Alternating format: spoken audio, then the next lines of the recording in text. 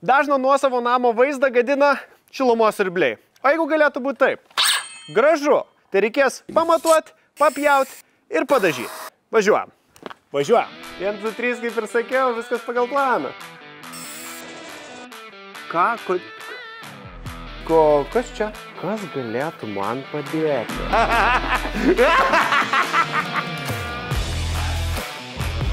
Šiandien darbas laukia paprastas, svarbiausia viską teisingai išsimatuoti. Na žiūrėk, jeigu mes atsivežtumėm 3 metrų tašus, mes galėtumėm rėmą padaryti, kuris yra maždaug 2,20 m ir nupjautumėm ir dar liktų tada rėmo dalis čia. Labai produktyviai ir našiai. Na ką, atvykom į senukus, keliaujam susirinkti viską, ko gali reikėti. Puikios lentos, mum jų reikės kokių penkių. Keliaujam dabar į senukų drive-in ir susirinksim storesnės lentas. Tadam! Žinai, man jau nusibodo visi tie tepliojimai teptukų, dėl to aš esu šiandien senukose tam, kad pagaliau nusipirkčiau Grunder dažų purkštuką. Ir visą tą savo darbą, kur mes galėjom daryti rankutėm, mes padarysim su elektra. E, keliaujam dažnų skyrių, susirinksim viską, ko reikia. Ką daryti, jeigu nei žinai, nuo ko pradėti dažyti, nei kokią spalvą dažyti? Kas galėtų man padėti? Gerą dieną mes ieškom pagalbos. Aš čia būčiau tarp lentynų dar vaikščias gerą valandą, galvodamas, imdamas ir taip toliau. Man labai patinka, kai senukose pataria ir tavęs nepriverčia jaustis dunduku, o kaip tik kaip su partneriu pasikalba ir paaiškina, kas geriau, blogiau ir leidžia tau pačiam vis tiek galiausiai išsirinkti. Nes sprendimas vis tiek lieka jūsų. Let's go. Na kągi, tai galiausiai viską turim, susipjaunam ir keliaujam namo. Kas prisimena pirmą epizodą, taip viskas ir prasidėjo. Per ilgos lentos, per trumpą mašiną ir akumuliatorinis grinder pjūklas. Dabar jau telpa. Mūsų tikslas yra kuo mažiau uždengti mūsų ortakius. Svarbu išlaikyti tiek atstumą nuo čia iki pačio rėmo, tiek padaryti taip, kad rėmas, narvas ir taip toliau turėtų pakankamai skylių, pro kurias pūstų vėjas. Tada Žiūrėk, aš taip įsivaizduoju. Čia bus taip. Vienas, du, trys, keturi, penki. Ir viskas. Geras būtų kitame epizode, žinai, išsinuomoti Lamborghini ir su ją vežiotis e, visas lentas. Nes dėl interneto. Ok, tai pirmiausia, planas. Planas yra paprastas. Kaip matėte, situacija irgi labai paprasta. Turim du šilumos siurblius. Ką mums reikia padaryti? Mums reikia juos uždengti iš visų pusių su gražiais atstumais ir su skylėm orui. Mes tikrai turim dvi lentas, tada mes turim jungiamą lentą ir čia turėsim dar vieną lentą. Turim du skirtingus šilumos siurblius, mes įdėsim čia dar vieną lentą. Tada, kad viską paslėpti, mes padarysim čia nais daug lentučių. Taip. Pagaunat idėją, manęs gal ir nepagaunat, bet idėją pagaunat. Viskas, ką tai reikia padaryti, tai dabar parodyti savo patirtį ir lygiai viską nupjauti. Taigi, preciziškai atsimatuokime. Spaudžiam, susikūriau ką tik staklės, važiuojam.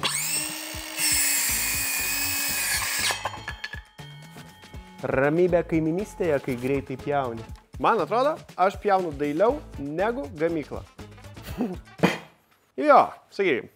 Tai atvykome čia išsiaiškinti iš tikrųjų, kaip viskas vyksta. Vieną koją, kitą koją, trečią koją, tarpai. 1, 2, 3, 4. Taip, visiškai viskas pagal planą. E, tikriausiai buvo 83. tai čia viskas šiaip, ką, kodėl jūs manęs nepertraukėt, kai aš jums rodžiau, dalinau, prie eina savo.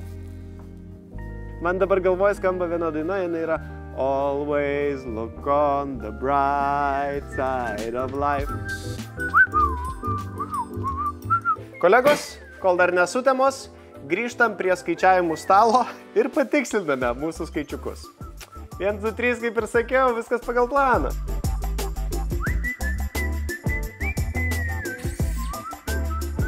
Čia dar viena, čia dar viena.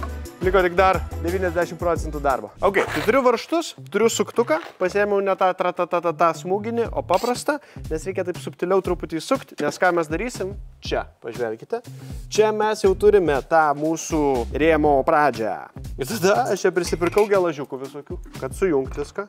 Na, žiūrėkit, ką man dabar reikia padaryti, tai tiesiog sujungti, kad jie laikytųsi kartu, nes visą sunkų darbą po to atliks ne jie, o šitas tašas. Jisai eis per visą mūsų turėmą ir viską sujungs į vieną. Kamputis gražus, gražus. Vakar dienelė taip ir baigėsi, nepabandžius. Wow, jūs matot, koks jisai yra čia kaip drugelis skraido?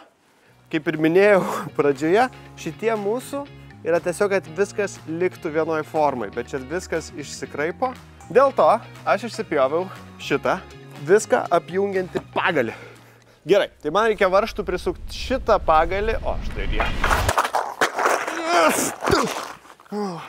Mane užpuolė varštų. Viena detalė, pusvalandis, tai liko dar 8 detalės, 4 valandos. Tai manau, link pietų pradėsim dažyti. Kadangi mes tik primetėm, bet nepaskaičiavom, ką aš noriu padaryti dabar, grubiai, greitai primesti, kiek man reikės šitų lištvelių. Tai čia yra 10 lentučių, reiškia, mums reikės 40 varštų ir kaip viskas atrodys? Atrodys taip. Tarpas, lentutė, tada kita lentutė, tada tu gali prisukti, išimti šitą lentutę, hova, prisuki šitą, tada dedi kitą.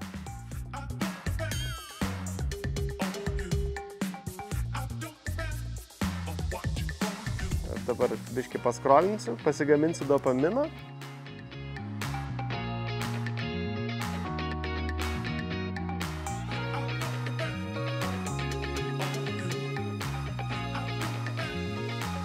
Esame toje video dalyje, kur padarėm fasadą, reikia pasidaryti šoninės sienelės. Ką tai reiškia? Kad reikia tiesiog padaryti tą patį, tik mažesnį. Na, va taip maždaug. Va tokia va. Na, kaip ir sakiau, tiesiog mažesnė priekinio fasado dalies versija. E, jo, e, ne viena tokia, o dvi senelės tokias.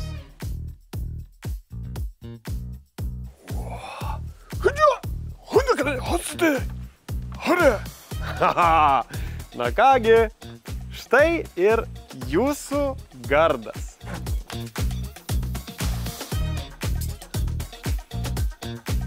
Na ką, narvas jau garaže ir atėjo laikas dažyti. Visai ne su teptuku, o su Gründer elektriniu dažų purkškikliu.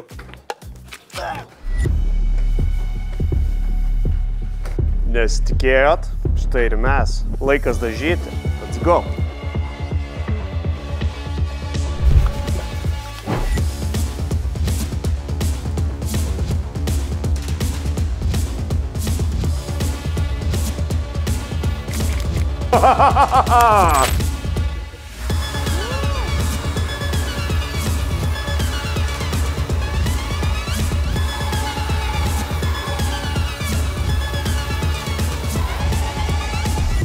Paruoškime dar dažų.